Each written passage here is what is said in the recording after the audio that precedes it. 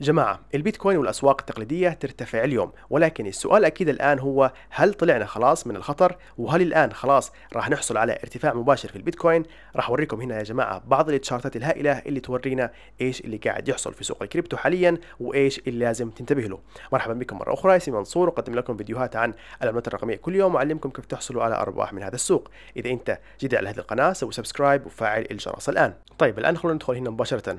حاليا الآن نشوف يا جماعة هنا إنه السوق تفاعل بشكل جيد مع قرار الفدرال الأمريكي بأنه يرفع معدل الفائدة بنسبة 0.75% يعني أكيد كان دائما في احتمال إنه يرفعوا أو الاحتمال إنهم يرفعوا المعدل بنسبة 1% كان دائما موجود ولكن بما إنه إحنا الآن فقط حصلنا على ارتفاع يعني فقط حصلنا على ارتفاع بنسبة 0.75% فهذا شيء عجب السوق وبالتالي حصلنا على هذا الارتفاع الجيد في البيتكوين. فالتقلب اللي كان متوقع هنا بالفعل حصل وهنا حصلنا على الحركة للأعلى. طيب شوف هنا يا جماعة أنتم عارفين انه أنا كنت مركز هنا على مستوى 20000 دولار وإنه أنا متوقع إنه هذا المستوى من ناحية الربح والمخاطرة فهو يعتبر مستوى أو فرصة شراء ممتازة جدا. وهذا أكيد كمان كان يعني بغض النظر إذا كنا حصلنا على أخبار سيئة وحصلنا هنا على هبوط إلى هذا المستوى وهذا الشيء ما حصل بالعكس حصلنا هنا على ارتفاع للأعلى. فيعني هنا بشكل عام أعتقد إنه هذه المنطقة منطقة جيدة جدا هنا للدخول في البيتكوين. وأنا بالفعل كان عندي طلب شراء هنا في هذا المستوى وكنت آمل إنه هذه الحركة الهابطة راح تنفذ هذا الطلب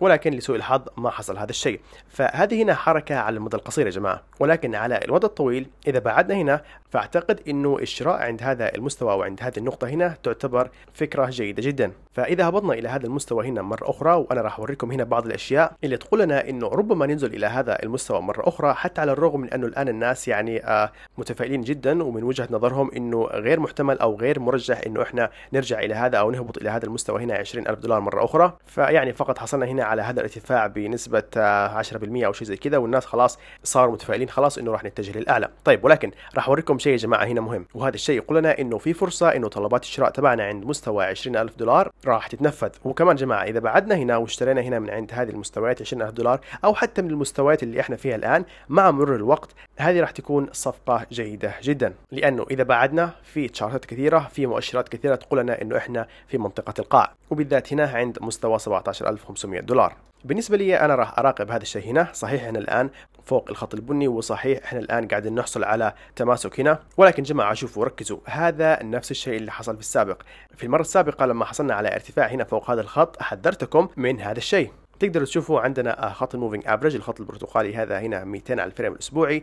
إحنا الآن فوق هذا الخط. ولكن شوفوا كمان هنا في هذه الشمعة. في هذه الشمعة ارتفعنا فوق الخط بمسافة كبيرة. وصلنا إلى مستوى 24200 دولار. ولكن في النهاية في نهاية الأسبوع حصلنا على هبوط في هذه الشمعة. وأقفلنا الشمعة الأسبوعية تحت هذا الخط. فحاليا في هذه الشمعة الأسبوعية لسه باقي عندنا ثلاثة أيام علشان نقفل هذه الشمعة الأسبوعية ولكن من ناحية الاحتماليات فأنا أعتقد إنه لسه في احتمالية عالية إنه إحنا راح نقفل تحت هذا الخط هنا مرة أخرى. فالبائعين راح يحاولوا يعملوا كل شيء يقدروا عليه علشان يهبطوا سعر البيتكوين تحت خط ال moving average 200 أسبوع اللي هو الآن عند 22690 دولار تقريبا. ولكن إذا فشل البائعين إن هم ينزلوا سعر البيتكوين تحت خط ال moving average 200 إذا فشلوا إن هم يعملوا هذا الشيء إذا فشلوا إن هم يهبطوا السعر تحت هذا الخط فهذا معناته أو هذه علامة جيدة إنه المشترين الآن هم متحكمين بالسوق. ولكن إلى أن نقفل أو إلى أن نشوف هذا الشيء بعد ثلاثة أيام فأنا الآن حاليا ما راح أدخل في صفقة في هذه النقطة. ولكن بالعكس إذا حصلنا هنا على ارتفاع قبل ما نقفل هذه الشمعة هنا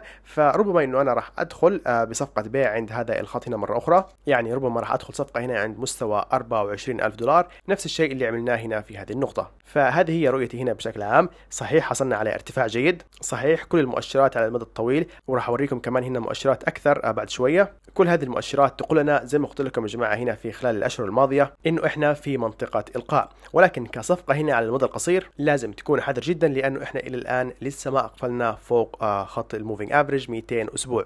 طيب وأكيد الاسواق التقليديه حصلت هنا على ارتفاع كمان حاليا تقدروا تشوفوا إنه إحنا قاعدين نحصل على تماسك داخل هذه الراية بهذا الشكل فقاعدين نحصل على راية إيجابية وهذه أكيد تعتبر إشارة جيدة فإحنا مراقبين هذا الشيء وراح نشوف فين راح يأخذنا هنا في الأسواق التقليدية.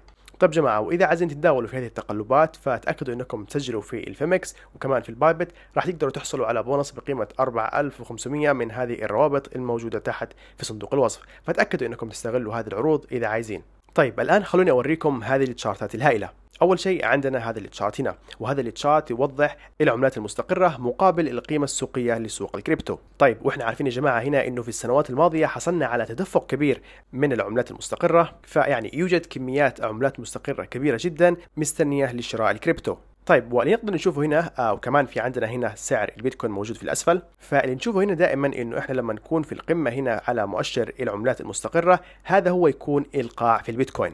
تقدروا تشوفوا هنا إنه هذه كانت هنا قاع البيتكوين وهنا في هذه المنطقة هذه هنا كانت قمة البيتكوين. فيعني هنا العلاقه علاقة عكسية. يعني قمة البيتكوين تكون هنا عند قاع مؤشر العملات المستقرة فتقدروا تشوفوا بنفسكم هنا الآن كيف يستمر هذا الشيء. هنا نحصل على ارتفاع في مؤشر العملات المستقرة بمعنى أنه في ناس كثير يدخلوا ويحولوا أموالهم إلى عملات مستقرة وبعدها لما نوصل هنا إلى القمة هذه هي المنطقة اللي نكون فيها وصلنا للقاع هنا في البيتكوين أو قريب من منطقة إلقاع في البيتكوين. وطبعا تقدر تشوفوا هذا الشيء هنا هذه كانت هنا هبوط الكوفيد أو انهيار الكوفيد. طيب بعد كده نحصل على ارتفاع هنا في مؤشر العملات المستقرة ونحصل على قمة وبالتالي نحصل على قاع آخر هنا في البيتكوين. فيعني ناس كثيرين عندهم عملات مستقرة وبعد كده يبدأوا بالشراء وبوم نحصل على ارتفاع للأعلى في البيتكوين. ولما يشتروا البيتكوين العملات المستقرة تهبط للأسفل والبيتكوين أكيد يرتفع للأعلى. فهنا في مؤشر العملات المستقرة حصلنا على قاعين وتقدروا تشوفوا إنه في هذه المنطقتين هذه كانت هي قمتين البيتكوين. والآن شوفوا يا جماعة إحنا فين؟ إحنا الآن بدأنا في هذا الهبوط من قمة مؤشر العملات المستقرة وهذا زي ما شفنا في السابق يشير أو يوضح إنه البيتكوين راح يتجه للأعلى. فتقدروا تشوفوا هنا مرة أخرى إنه ضربنا القمة هنا ونشوف البيتكوين حصل على ارتفاع قوي وكمان ضربنا القمة هنا مرة أخرى والبيتكوين حصل على ارتفاع قوي وضربنا القمة هنا وكمان حصلنا على ارتفاع قوي في البيتكوين. فهل الآن راح نحصل على نفس الشيء؟ تقدروا تشوفوا هنا إنه اوريدي بدأنا بالهبوط. فهذا المؤشر هنا يا جماعة يقول لنا وهذا يعتبر مؤشر ممتاز جدا. هذا المؤشر يقول لنا إنه إحنا ربما خلاص قد وصلنا أو ضربنا القاع. وهذا أكيد يا جماعة نفس بقية المؤشرات ويوضح نفس الشيء اللي توضحه بقية المؤشرات. طيب والآن هل ممكن نهبط كمان شوية؟ أكيد نعم. هل ممكن نهبط ونعيد اختبار إحدى هذه المستويات هنا؟ أكيد نعم. وهل إحنا الآن في منطقة من المفترض إنه نبدأ نجمع فيها ونشتري فيها البيتكوين؟ أكيد نعم لأنه مع مرور الوقت إذا شفنا على هذه المنطقة بعد كم سنة بعد فترة طويلة راح ترجع تتمنى إنك اشتريت هنا عند هذه المستويات. هذا فقط رأيي يا جماعة وراح نشوف إذا هذا الشيء راح يكون صح أو لا. طيب الشيء الآخر يا جماعة هنا هو realized bitcoin price على الجلاس نود طبعا أنا شرحت هذا المؤشر هنا في السابق واللي نقدر نشوفه هنا إنه آه البيتكوين realized price هو هذا الخط البرتقالي أو حافة الخط البرتقالي هنا. هذا المؤشر هنا يحسب مستويات البيتكوين اللي تم شراء البيتكوين عندها وبعدها يطلع عندنا هذا المؤشر. طيب ونقدر نشوف يا جماعة هنا إنه هذا المستوى يمثل كمان كمستوى دعم ومقاومة للبيتكوين. في السابق تقدر تشوف هنا إنه هذا الخط كان كمستوى مقاومة لما حصلنا على هذا الارتفاع وبعد كده حصلنا على هذا الهبوط. وكمان في الحقيقة هنا في السابق مثل مستوى مقاومة وحصلنا على هبوط. وبعدين مشينا هنا تحت هذا الخط وبعدها boom حصلنا على ارتفاع وحصلنا على مقاومة. بعد كده حصلنا على هذا الهبوط. والآن هنا كان يمثل مستوى دعم للبيتكوين وحصلنا على ارتفاع بعدين. كان ارتفاع جيد هنا للبيتكوين وبعد كده حصلنا على هذا الهبوط هنا تحت الخط مره أخرى والآن بدأنا إنه إحنا نكسر هذا المستوى هنا للأعلى. فهذا هنا كمان يعتبر شيء مثير جدا هنا للبيتكوين فأكيد راح أخليكم على اطلاع بهذا الشيء. طيب في الأخير هنا يا جماعة عايز أذكركم إنه ما راح يكون في عندنا رفع لمعدل الفائدة مرة أخرى هنا إلى شهر سبتمبر. فيعني هل في سبتمبر راح يكون رفع معدل الفائدة بنسبة 0.75 هل راح يكون فاصلة 50 هل راح يكون 1% ما نعرف. اللي قالوا إنه راح ياخذوا الوضع خطوة بخطوة وراح يقرروا في كل اجتماع. فراح نشوف يا جماعة في شهر سبتمبر. طب جماعة هذا كان كل شيء عندي لكم اليوم. أتمنى أنكم استمتعتم بهذا الفيديو وأشوفكم في الفيديو القادم.